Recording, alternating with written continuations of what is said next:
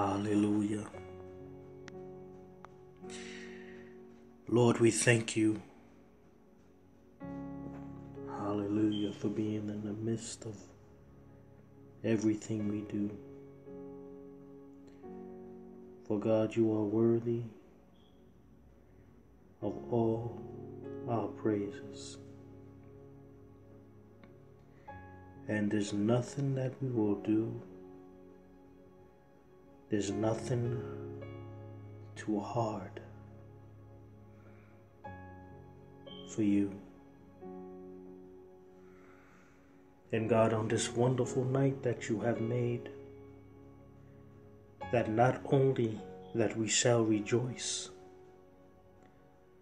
but we also shall be glad in it. For you alone are worthy to be praised, for you alone are great. And Father, we thank you for the move that you are getting ready to do. Lord God, we thank you in advance for the power that's going to be seen on tonight. We thank you for the fall of the Holy Spirit. We thank you for the move of your wonderful Spirit. And God, on this night, we ask that you move like never before. Hallelujah, we thank you. We invite you into the midst. We invite you into our worship. For you alone are worthy and worthy to be praised. And God, we thank you for another move. We thank you for another power. We thank you for another praise. And God, we honor you and we will keep you in our hearts. And God, we ask that the Holy Spirit fall upon this place. Move transform, and renew. Do whatever needs to be done so that your word can be said here on tonight. And God, you are great and you are mighty.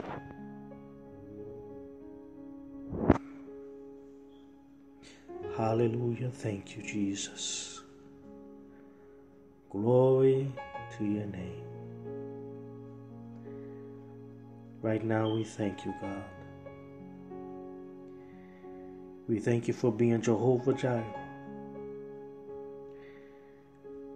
We thank you for providing all our needs. We thank you. Hallelujah. And God, we bless your name. We bless your name. In Jesus' name. Amen. Hallelujah, saints. You have reached the TBBC broadcast with your author, writer, speaker, and inspirer, John D. King. I just want to say hello on this wonderful evening.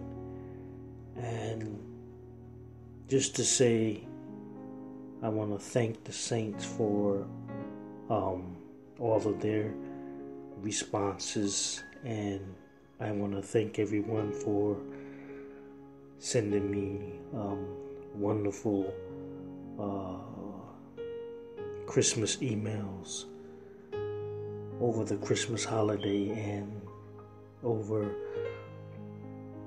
the New Year holiday, and I thank you again. We are coming into a new year. We are actually now we're in a new year. almost two weeks into the new year.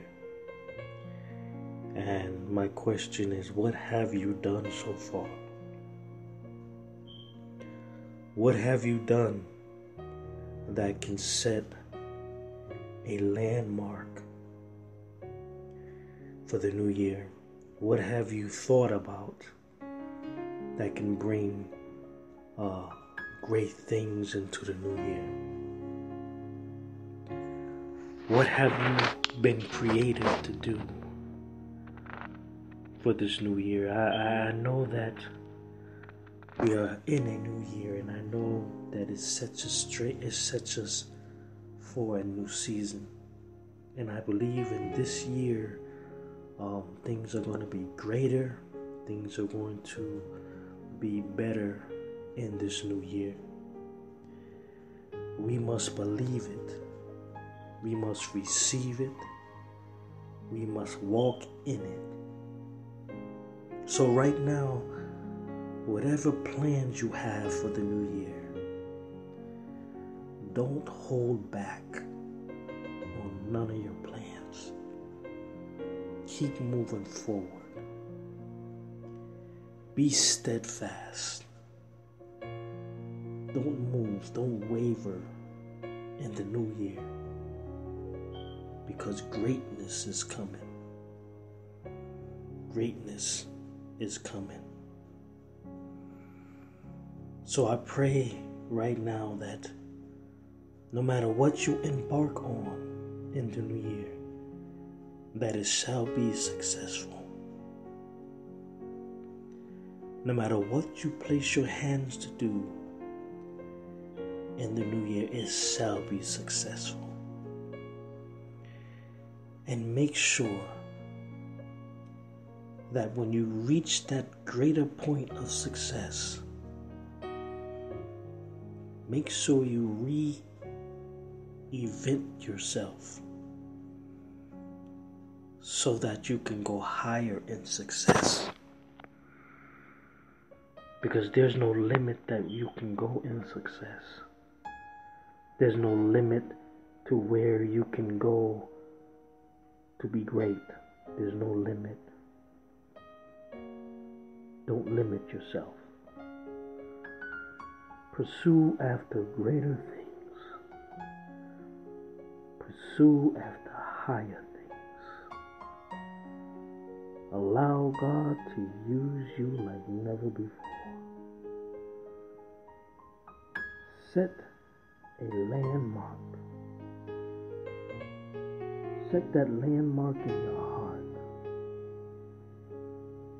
that you may never go back on your. And I know that everything will fall into place. But I believe it's up to us. It's up to us to be faithful. It's up to us to go after some of these things we we we want to go after.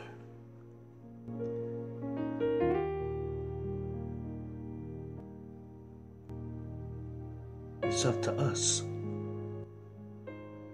It's up to us to go higher. It's up to us to go further. It's up to us. It's up to you, it's up to me to put this new tread into action. It's up to you, it's up to me to be creative no one else.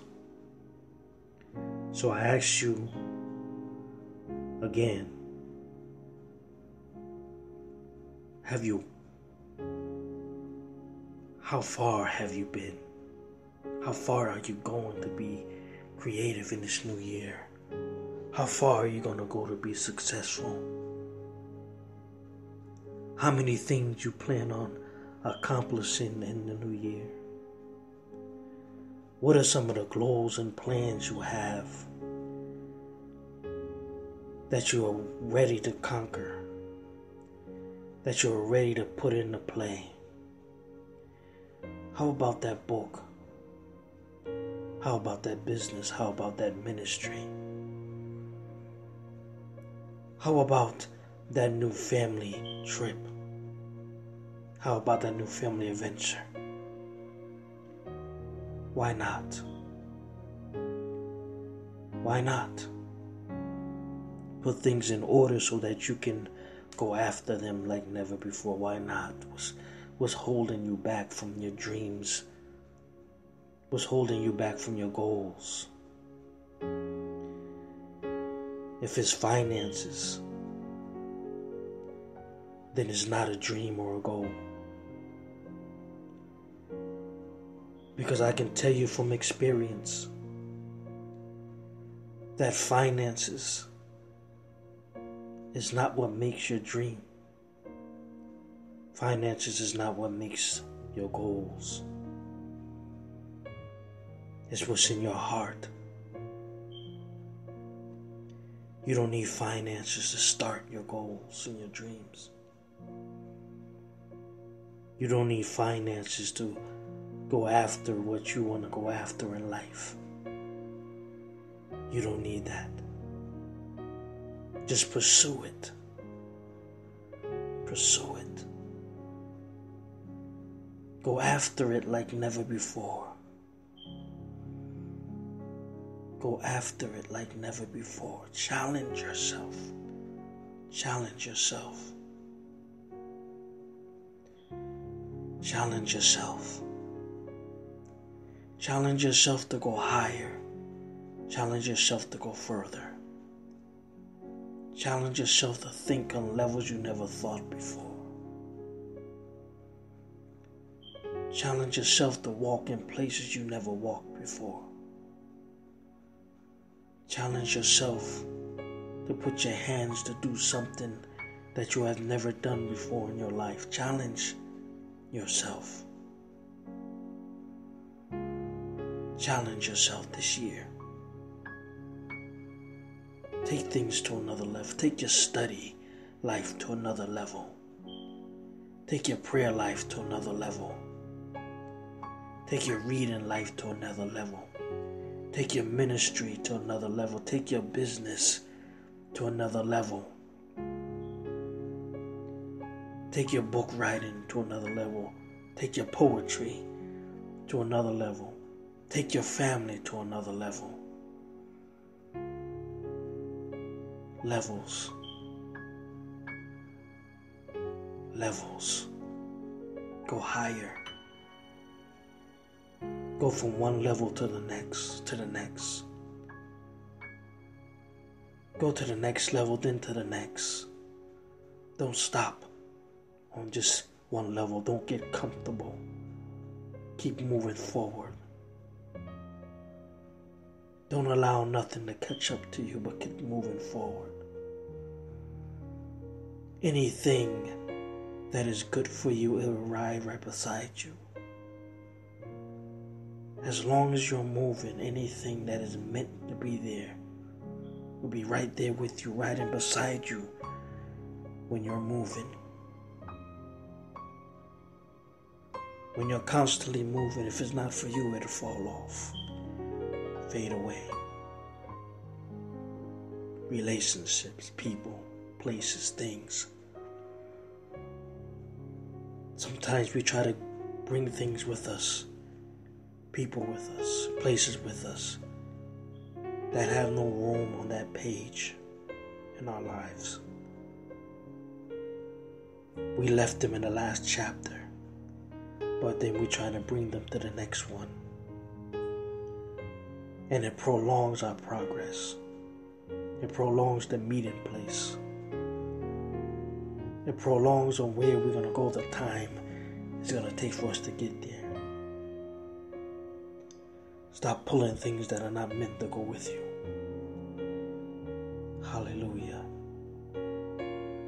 Don't step out of your garden. Don't start tilling your ground find something that you cannot pull inside, back inside your garden but you continue to till and pull your garden. Work it. And as whatsoever belongs in your garden will come. And it will connect easily.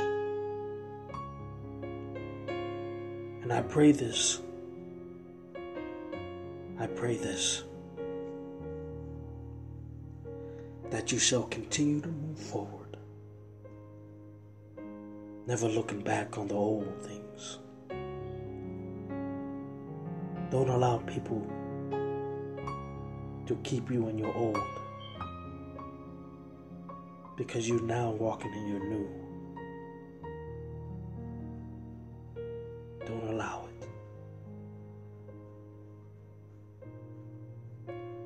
This is John D. King, author, writer, speaker, inspirer, TBBC broadcast, Bridgeport Book Club. Every Monday night, you can find me on soundviewtv.org at 5:30.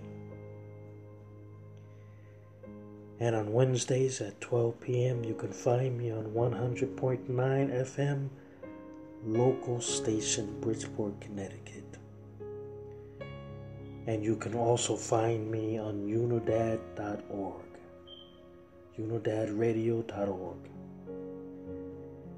And also, you can find me on Saturday mornings, 100.9 FM for half an hour, the Bridgeport Book Club.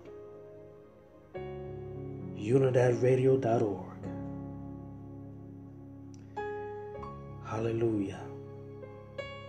And you can also find this broadcast, the TBBC broadcast radio station you can find me here also. Twitter, Facebook, Google.